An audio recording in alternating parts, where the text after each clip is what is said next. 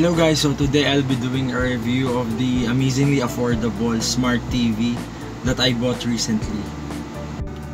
It's the Ace 32-inch LED smart TV and I got this awesome deal from Lazada at only 6,300 pesos which is equivalent to around $120.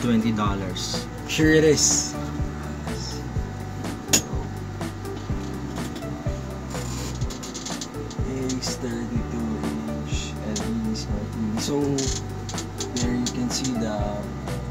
Major specifications but we'll look at them closely later.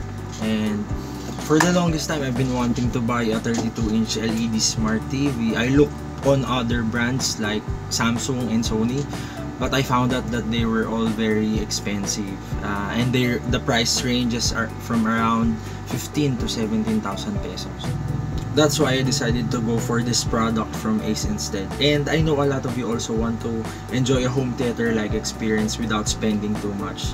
So here we go, let's check it out. So now let's go over the specifications. It says here that it, it has a 32 inch LED screen. It has a resolution of 1366 by 768. It has a clear motion rate of 200, refresh rate of 60 Hz, which is pretty standard for uh, an LED TV of this size. Uh, it has an ultra slim design and it has a very thin golden bezel which looks pretty gorgeous. Uh, it has a response time of 5 milliseconds. Uh, it also features a surround sound capability. For the connectivity, it has two HDMI ports, it has two USB ports, and it, ha it has one VGA port. As for the special features, it has an ultra slim design, it has smart energy saving technology, and it supports computer input, which means that this TV functions almost like a computer.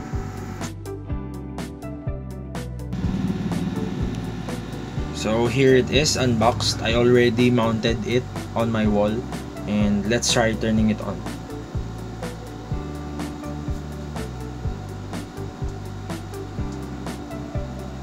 It has like a 10 second boot time before it powers up.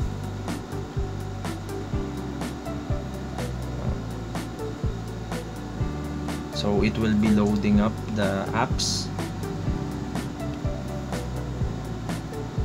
Wisdom Share Smart Cloud TV.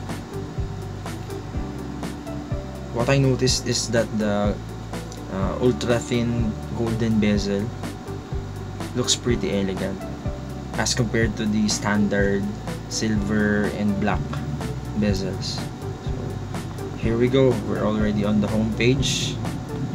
These are the pre-installed apps.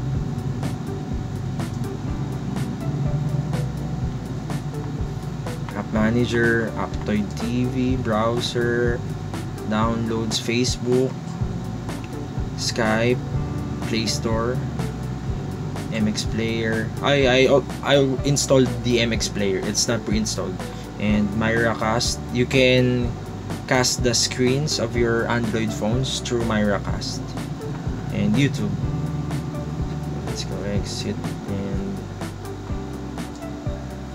app management. You can install uninstall browser media you can play music and view pictures. Uh, let's try watching some videos on YouTube.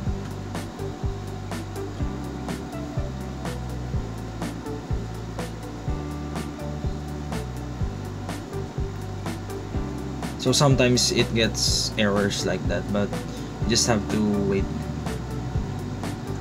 And now it's working fine.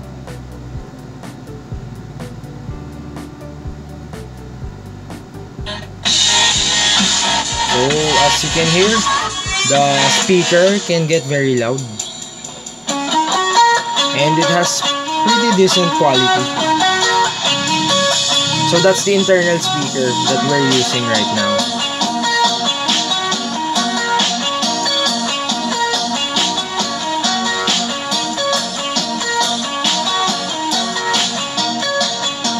So we're only at 360p quality.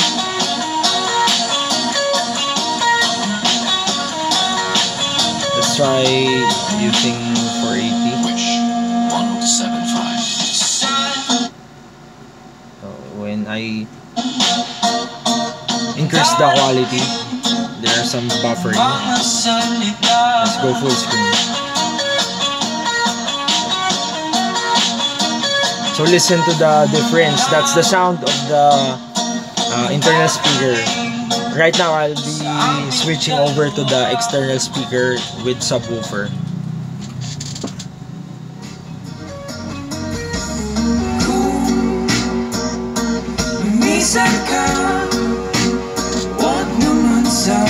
So the difference is very clear. You definitely have to buy or use as an external speaker with subwoofer to enhance your viewing experience and music listening.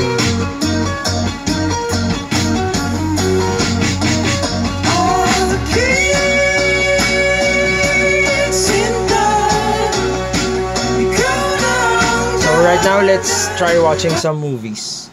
Uh, I plugged in my 3 terabyte uh, portable hard drive and as you can see it's loading up.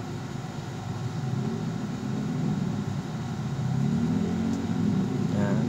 it was able to read it after loading for a few seconds. And I'm very impressed. I thought it will not be able to read my 3 terabyte hard drive because most uh, smart TVs of this price range can only read up to 1 to 2 terabyte hard drives. So let's try watching a movie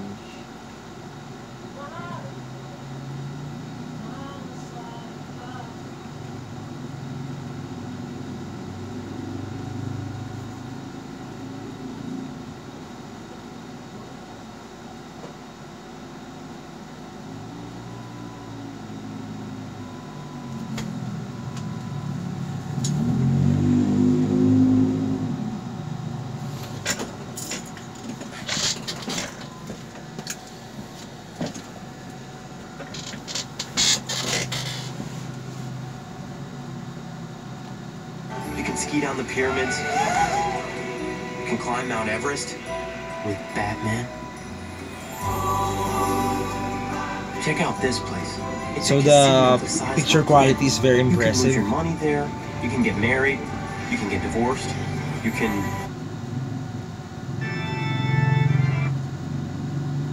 The key. Come to Eric.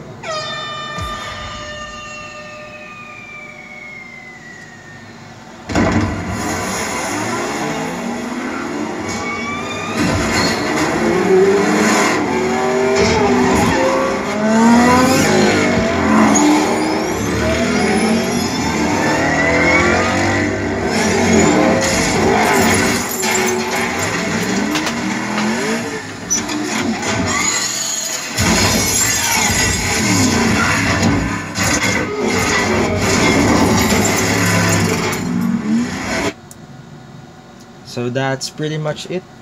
Uh, I've I was able to show you uh, the major features of the Ace 32 inch LED Smart TV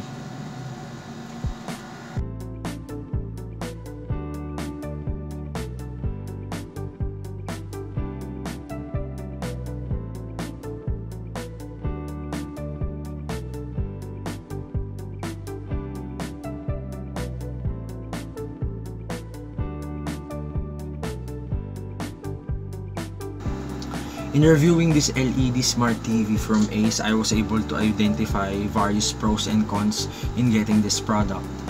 The good points include the display. The display is magnificent. It's very clear, it is crisp, it is color accurate, and it can get very bright. Watching full HD movies is a very good experience in this TV. I scored the display 8 out of 10 and you can also adjust the picture modes according to your liking. Video streaming was also very enjoyable in this TV. It was so clear especially at 720p or 1080p resolution. This TV is also very responsive uh, as it was included in the specifications that it has a response time of 5 milliseconds. I'm glad to say that it is true as advertised.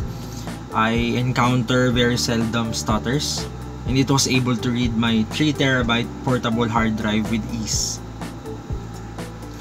Another good thing about this TV is the 4GB internal memory, which I think is more than enough in installing video streaming apps like YouTube, Netflix, and media players.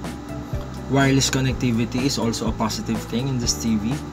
Uh, it had no problems despite that the distance from this TV and our router is at around 8 meters. I think the most impressive feature of this TV is the computer input.